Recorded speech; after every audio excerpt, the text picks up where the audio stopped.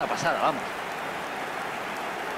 Pues el suplente ya ha dejado su huella.